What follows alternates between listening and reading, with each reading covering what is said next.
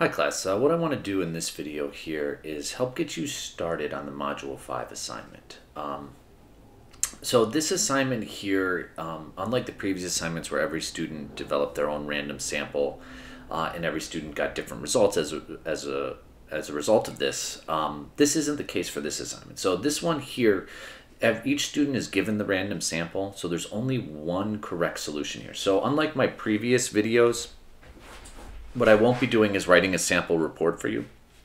But what I want to do is just help you get started on this because it, the wording on this can be a little confusing.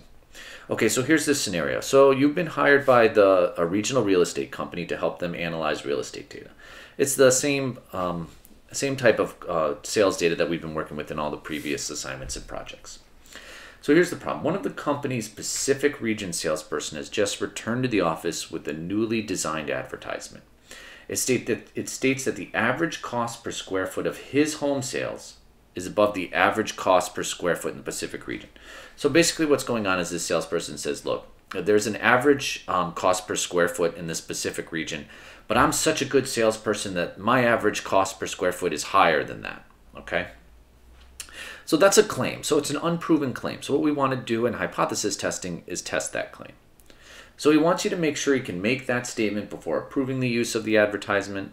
Okay, and so here's the thing. He knows that the average cost per square foot of his home sales is 275, okay, per square foot. So in order to test his claim, you collect a sample of 1001 home sales for the Pacific region.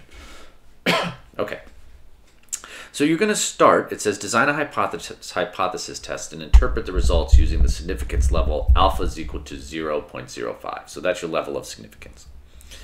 So it says use the housing list uh, price by region document to help support your work. So when you click on this, this document, it loads up this Excel file here, okay? And what we're interested in working with is uh, the cost per square foot. Okay, so we know what the regional salesperson is. So his cost is 275, okay? And what he's claiming is, look, that mean is higher than the uh, average sale price in the Pacific region. So what we don't know, what we don't know is the average sale price in the Pacific region. Okay, this is just a sample of cost per square foot in the um, uh, Pacific region, but what we don't know is we we like we really don't know what the actual real mean is. Okay. All right, so it goes on to say the following. Um, you're going to use this template here, this Module 5 uh, assignment template, excuse me.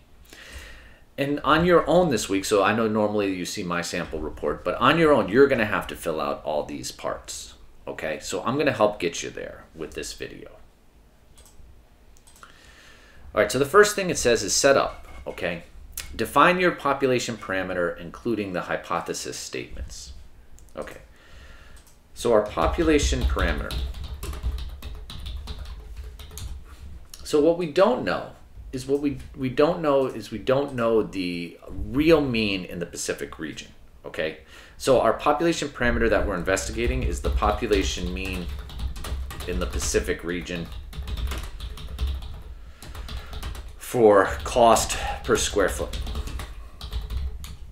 Okay, so my population parameter is going to be something like this. Let mu, so I'm just going to use u here, but it's the Greek letter mu. Let mu equal the mean cost per square foot in Pacific region.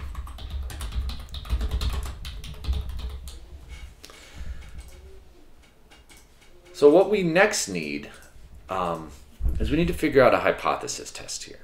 Okay, and there's and there's three types of hypothesis tests here. Um, you need to figure out if it's going to be a left-tailed, right-tailed, or two-tailed test.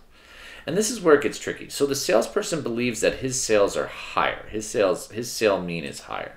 Okay. So a left-tailed test. Okay. Sorry, a little bit of a typo there. Left-tailed test. You have your null statement. It's mu is equal to some number. And the alternative is that mu is less than some number. A right-tailed test the null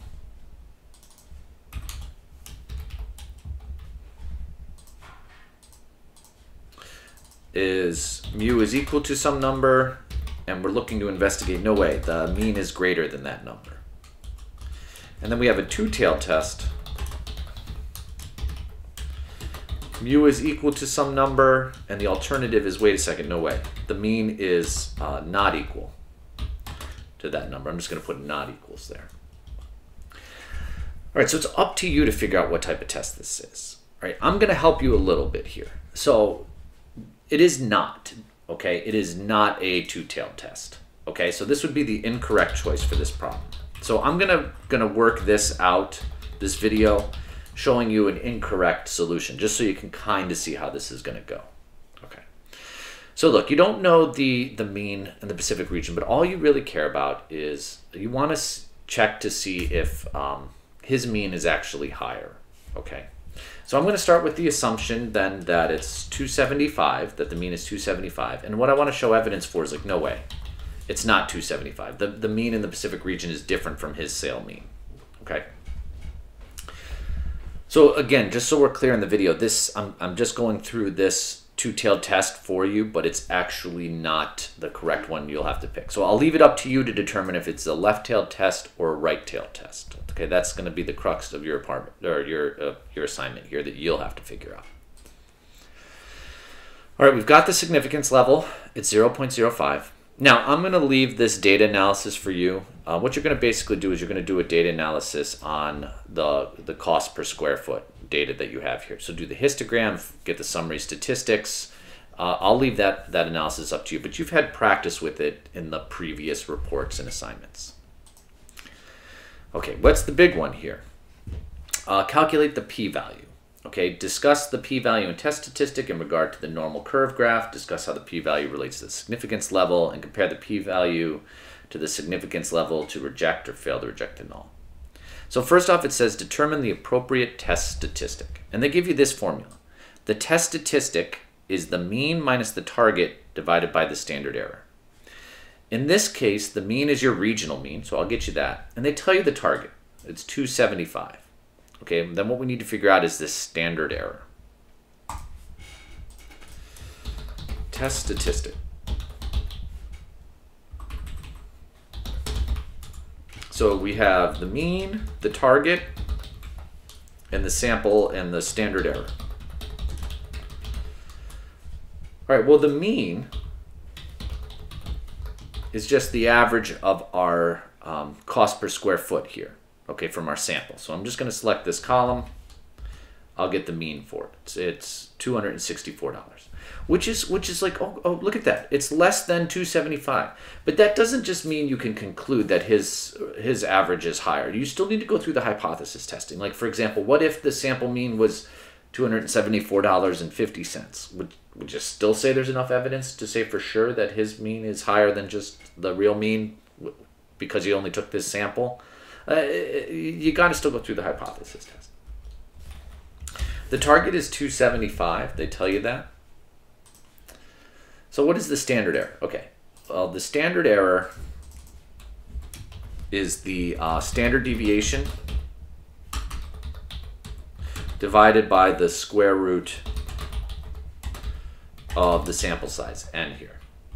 So you're going to go stdev.s because you have a sample. And you want the standard deviation of, of the cost per square foot. And you're, you're going to divide it by the square root, which is sqrt parentheses of our sample size. Well, there was a 1,001 observations here. Okay, so that's our standard error. So our test statistic then is equal to the mean minus the target, close the parentheses, divided by the standard error. Okay, so it's negative, looks like it is negative 2.1483 here. Okay. Uh, so let's let's now um, let's talk about how you find the p-value. Then here. Okay, so to find the p-value, okay, you're going to use one of these functions. Equal t.dist.r for a right tail test, t.dist for a left tail test, and equals t.dist dot uh, 2t for a, a two-tail test. So I'm going to use this one here, okay? Um, and we'll see if if what I get for my p-value, and I'll talk about it. Okay. So I'm going to do equal t dot dist dot 2t. Now here's the thing about a two-tailed test. Um, you actually need to put in a positive number. It won't accept a negative number for the test statistic. So even though my test statistic is minus 2.148, I'm going to put in 2.148, comma, degrees of freedom. Uh, so the degrees of freedom is a sample size minus 1. So it's n minus 1. So it's a 1,001 minus 1, which is a 1,000. And you'll see that my p-value comes back as this. Okay, 0.0319. All right. So since the p-value is less than the level of significance, we reject the null. When you reject the null hypothesis, what, what it means is evidence supports the alternative. And so what we're what, we're saying here when evidence supports the alternative is we're saying that look, this this sample mean of 264 is enough evidence to indicate that the mean in the Pacific region is not equal to 275. So evidence suggests the mean, um, and this was cost per square foot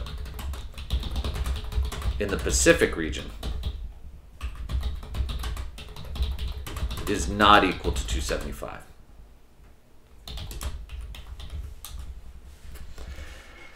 All right, so then what you'll have to do is you'll have to write this in your report, you know, like if that's what the hypothesis testing is suggestion, what does that what does that mean to relate to his advertising claim? And you'll have to fill out the rest there. All right, but look, so we know I just did the two-tailed test for you, and it's not the correct test. So you have to figure out how you can set up this um, this as a left-tailed test here, and maybe that's the right one or or as a right-tailed test. You know, I'll leave that up to you in your report. Um, otherwise, if you have any questions about this, and I know it's really confusing what's going on, and, and I know this is not an easy assignment, but uh, if you have any questions, post to the general questions forum, um, or you can email me, and I and I will respond to you as quickly as I can, um, and and we'll get through this.